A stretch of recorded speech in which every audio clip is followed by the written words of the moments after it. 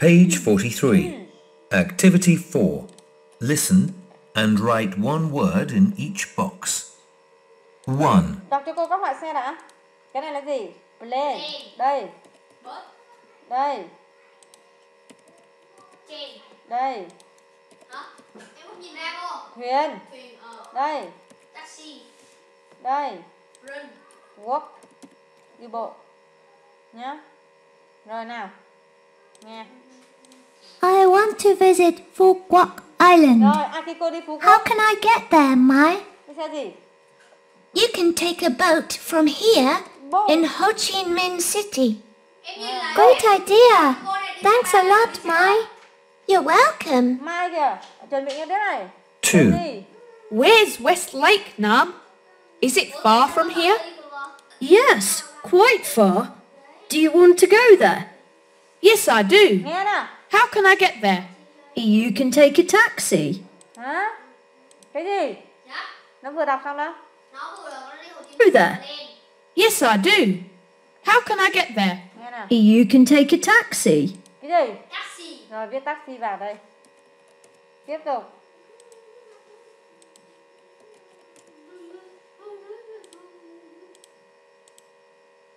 Three, Where are you going next weekend, Mai? I'm going to Hậu Giang province. Is it far from Ho Chi Minh City? Yes, quite far. Nghe. How are you going to get there? I think I'll go by coach. Coach. four, I have some friends in Ho Chi Minh City. vừa lên rồi I'm going to see them next Sunday. How are you going to get there? By plane. Great. It's faster than by coach or train. Have a nice trip. Thanks, Mai.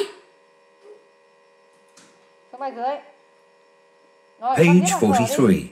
43. Activity 4. Rồi, viết đáp án vào vở nhá. Rồi, mai này, we are going to have a school gì? Next weekend. Có một chuyến đi ở trường nào? Chip, chuyến vào, viết vào. Viết vào được về mặt chép vào. Đó, chúng tôi sẽ có một chuyến đi tới. Tới đâu? Chuyến đi. Where are you going? Where, where, where, where, where con? Bạn sẽ đi đâu? Đi đâu đây? Hồ Chí Minh. Ở bên này mà. Hả? Ở bên này nè. Ờ, để em nhìn kỹ đã. Du? Ừ. Đi sở thú. Nó có xa trường không? Không. No. How are you going to get there? Tức là hỏi đi cái gì á? Đi bộ là gì? On gì? Có cách nào để đi qua cái rổ cà rốt này vợ? On foot. On foot. Phút đi sao cô? Bắt ghét hả? Chỗ này này. Tôi sẽ đi thành phố Hồ Chí Minh Thấy ngày quá. mai. Tôi sẽ đi thành phố Hồ Chí Minh vào ngày mai. Một phút là ẩm thực rồi cô. Cái chữ giờ là ẩm thực.